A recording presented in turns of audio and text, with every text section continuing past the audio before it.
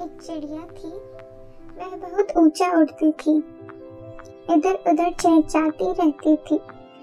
कभी इस टहनी पर, कभी उस टहनी पर फुदकती रहती थी। पर उस चिड़िया की एक आदत थी। वह जो भी दिन में उसके साथ होता अच्छा या बुरा, अपनी पोटली में रख लेती थी। और अक्सर उन पत्थरों को पोटली से निकालकर देखती अच्छे पत्थरों को देखकर बीते दिनों में हुई अच्छी बातों को याद करके खुश होती और खराब पत्थरों को देखकर दुखी होती। ऐसा रोज करती। रोज पत्थर इकट्ठे करने से उसकी पोटली दिन प्रतिदिन भारी होती जा रही थी। थोड़े दिन बाद उसे भारी पोटली के साथ उड़ने में दिक्कत होने लगी। पर उसे समझ नहीं आ रहा था कि वह उड़ क्यों नहीं पा रही है।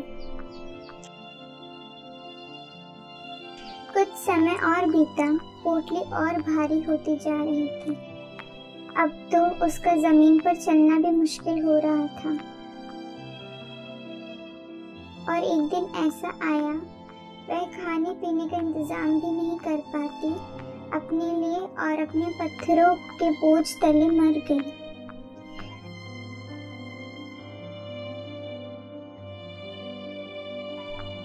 मॉरल ऑफ़ द स्टोरी दोस्तों ऐसा ही हमारे साथ होता है।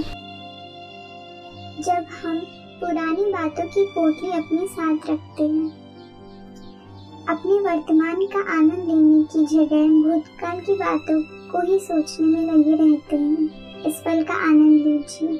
धन्यवाद।